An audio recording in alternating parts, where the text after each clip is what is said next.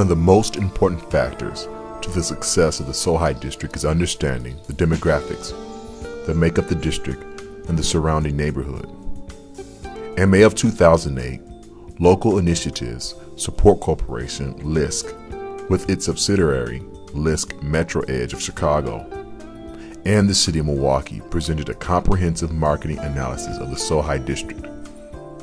This marketing analysis was a product of two teams, LISC Metro Edge and Michael J. Berne of MJB Consulting. In part one of this presentation, Michael and I review the social, economic, and racial makeup of the Sohi district. If you are a resident, property owner, government representative, and current or potential business owner, this information may be practical in its tone, however priceless to the success of the revitalization of the district.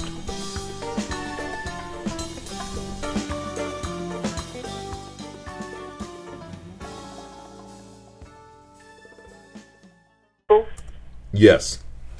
Yeah, I mean, that's the point I'm making about uh, the population, uh, which is roughly 10,400 people, uh, has been in decline, um, and the median household income is, is rather low. Mm-hmm. That, that's partly attributable to the high percentage of students. Any area that has a large number of students will have a, a low median household income. Okay.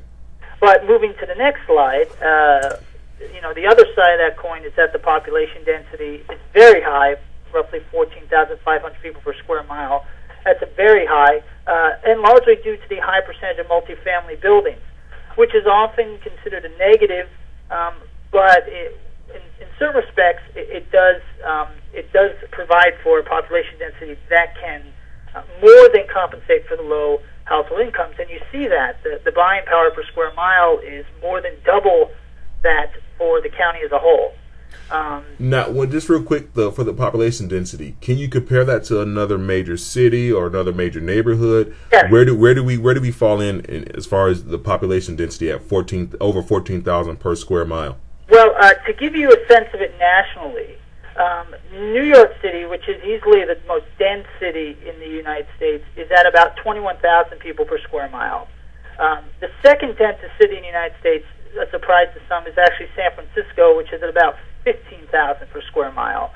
Um, what you find generally is that the, uh, the Midwestern, I mean, sorry, Mid-Atlantic cities like the Philadelphias and the Washingtons the Baltimores tend to be at you know eight to ten thousand per square mile, and Midwestern cities tend to be at six thousand per square mile, uh, and Sunbelt, you know, sprawling Sunbelt cities at about three thousand per square mile. So if you look at fourteen thousand five hundred, um, that is more than double the typical density in a Midwestern city like Milwaukee. In fact, I think Milwaukee as a whole is at about six thousand per square mile.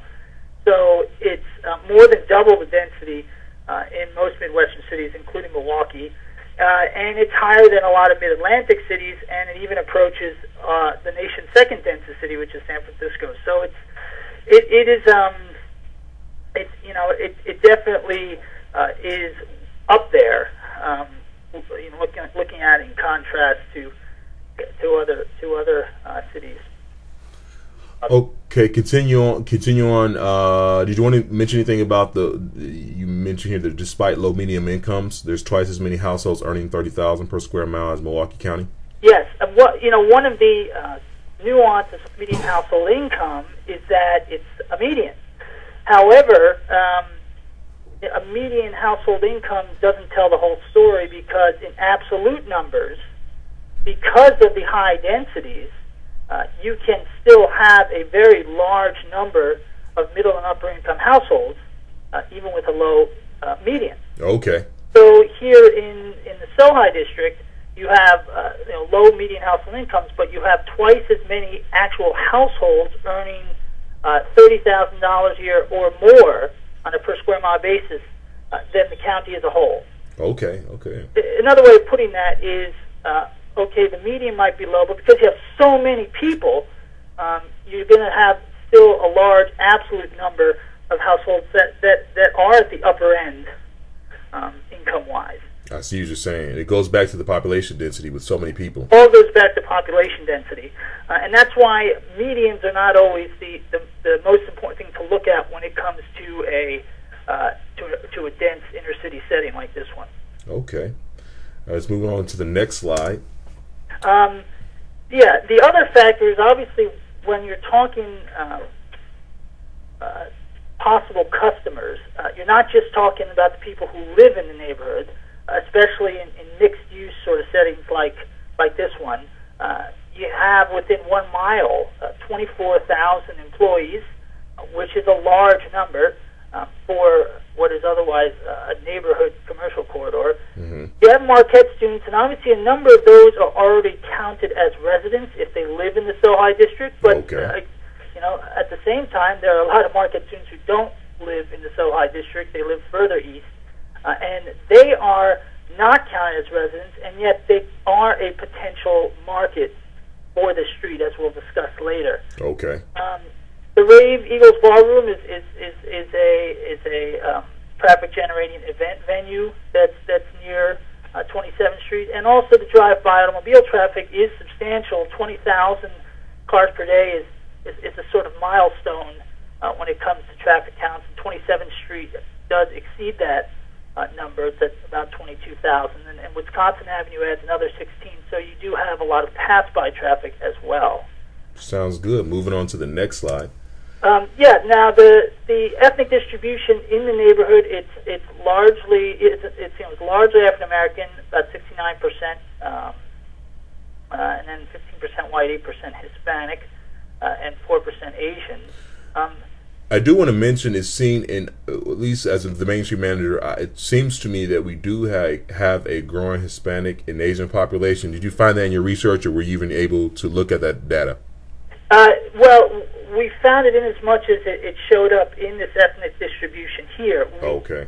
See it yet reflected on the um, on the street itself, on 27th Street itself, in correct. terms of the retail mix. That's right. Correct.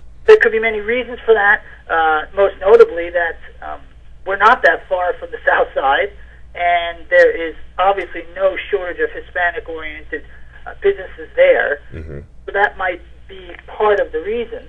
Uh, but yeah, it's it's a population which is growing, uh, has yet to manifest on 27th Street. Okay, moving on to the next slide.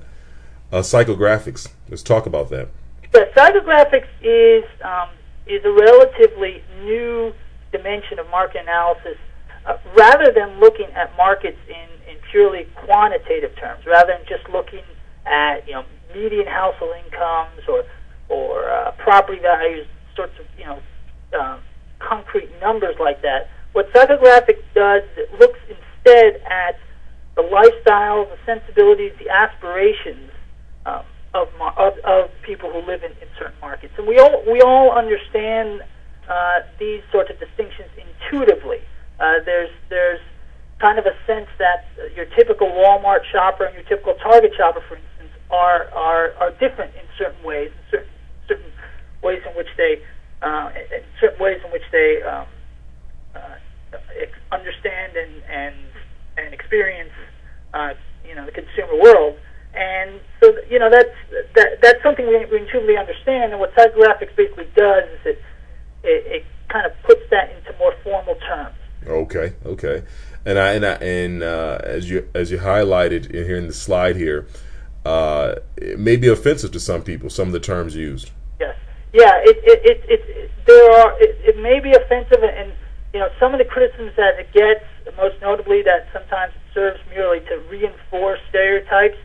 Some of those criticisms are are completely valid, um, and and you know that so the the reaction that it can get, you know, is understandable. Mm-hmm. Um, but for, for better or for worse, it's a tool that's increasingly used by the retailers themselves in deciding where to locate. So we need to understand them. So, um, and you know, so it, it's kind of a sort of thing of regardless of what we think about these sorts of, of psychographic, you know, classification systems, we, we, we need to take you know take them into account in analyzing in understanding how retailers analyze. So let's dive right into this then, the psychographics. Let's go on to the next slide. Next slide. Um,